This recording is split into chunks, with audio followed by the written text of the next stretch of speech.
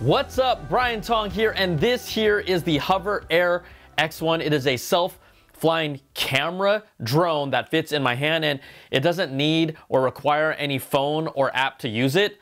That's pretty clever, and yes, that is really cool. Now, it takes a variety of cinematic style videos and photos and can get through places really other drones wouldn't even dare to go because of its size and its sensors here, and it is all about it's ease of use because you can record fun and memorable moments in seconds without a bunch of setup. You know, a lot of drones, you, you got to do a lot of things before they get going. And this really is one of my new favorite tech toys. So let's just check out its design first. And you see here the Hover Air X1 as is, right? It's really a compact, foldable, right? Folded in my hand drone that can be thrown in almost any bag because of its size. It can fit inside of some of your big pockets, but not inside my skinny jeans. But all you have to do to use it is you have it here first, right? Then open it up, okay? Then you hold the power button for about two seconds. And you'll see this green light here. It's gonna turn on. Just like that. And then you'll even see that camera swivel up and down to let you know it's on. Um, when it first turns on also, the LEDs all light up. And then there's a button above the power button that's here this is going to cycle through the different shot modes. So when I hit it, each time, you can hear it change between its different shooting modes. We just heard follow. You also have this one. Orbit. Orbit. Bird eye. Custom.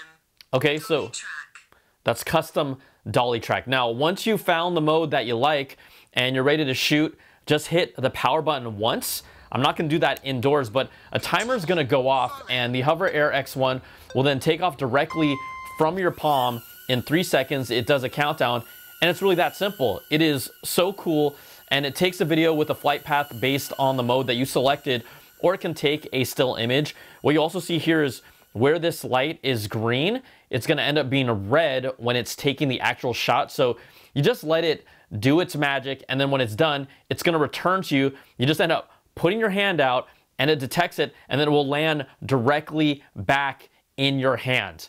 Just like that. Like how wild is that?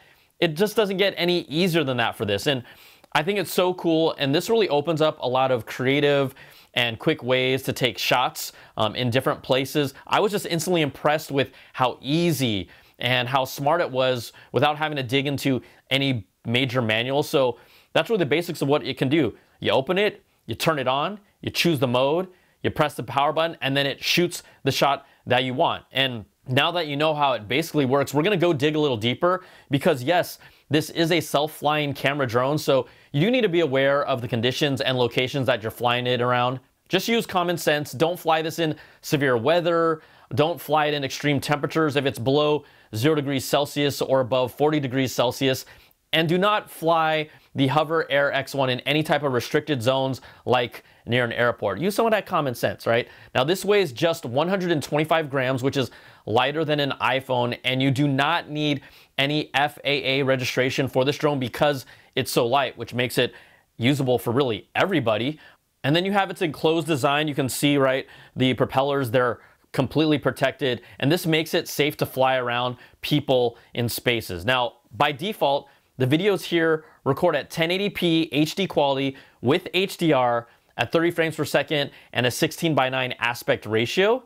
And you can bump it up to a 2.7K resolution at 30 frames per second, or you can go 1080p at 60 frames per second, but there will be no HDR in those modes if you really wanna dig into the app. And we're gonna talk about that app in a little bit. Now, also internally, it has 32 gigs of onboard storage, so that's gonna be enough uh, to shoot a whole lot of clips here that reside here. Then you can transfer the files back to your phone after shooting. Now, out of the box, the Hover Air X1 comes with two batteries.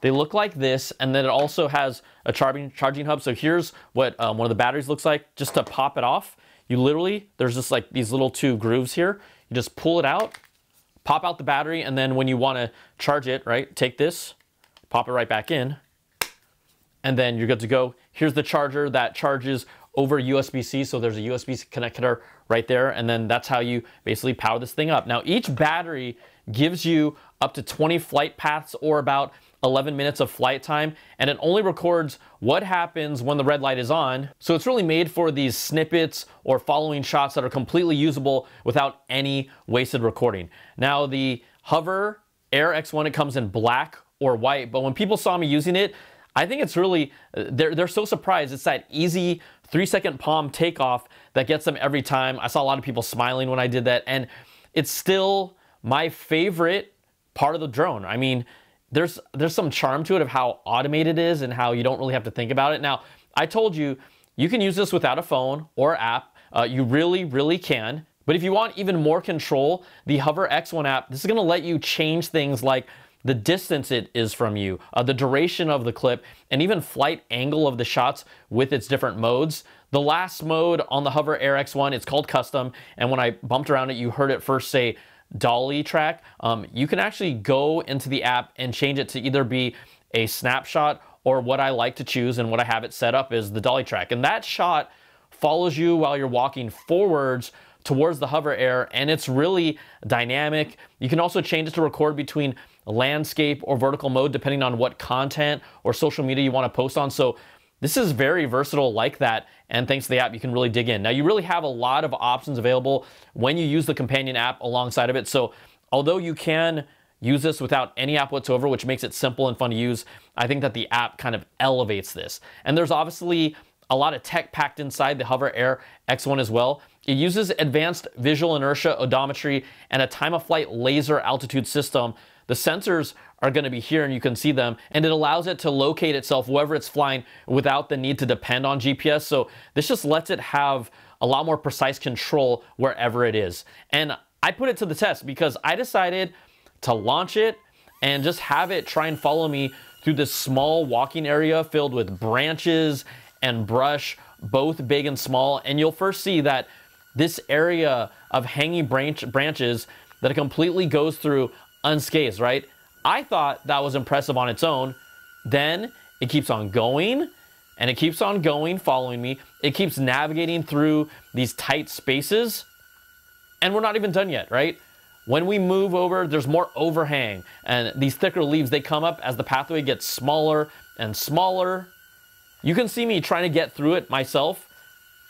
And it still makes it through even when it brushes against it, because you have this protection, it doesn't get caught up in the propellers. And all of this is while it's focused on recording me getting through this narrow area. And I don't know of any other drone that I could successfully navigate through that. And it was really impressive to see just how the Hover Air 1 can do this.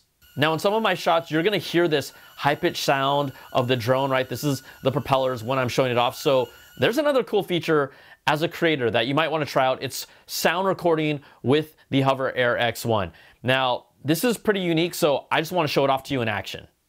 So this is really cool. Now, there's a voice feature where when you're connected to the Hover Air X1, it uses an algorithm to get rid of the fan noise from the Hover Air X1, and I can, you know, talk this through, walk you around, tell you that I'm walking up Fryman Trail right now, and just kind of talk through this while we're hanging out. It's pretty cool. So want to show you what it's like and how it sounds. And it, I mean, it's more than passable. So it's a really cool, fun feature. And use your phone to capture the audio, but then syncs with the video. Pretty sweet.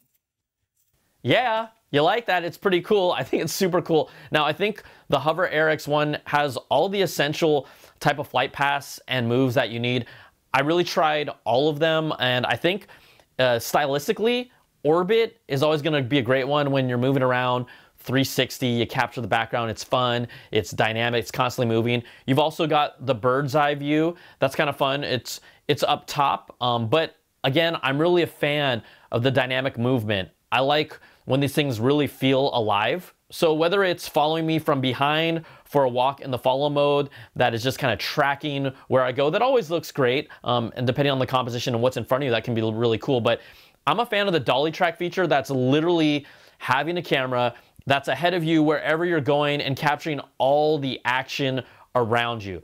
And I haven't found a simpler flying drone to use. And you know, as time goes on, this camera technology here will keep getting better. For social media and quick fun shots, I think this is absolutely perfect at 1080p, and I'll be looking forward to seeing how it improves over time. But this is probably one of my favorite products of the year just because of the tech that it's showing off. Just because if you use drones before, they do take a while to set up. Then you got to sync uh, the drone to a remote, and then it takes a certain level of skill to even fly them properly. Even with some of their built-in modes, you got those automated features, but you still got to like navigate and go through menus to get to them. Um, and also, they wouldn't be able to navigate through that little pathway like the Hover Air X1 did. That's what was really impressive. And I think that there's a lot that can be learned by other companies from the Hover Air X1.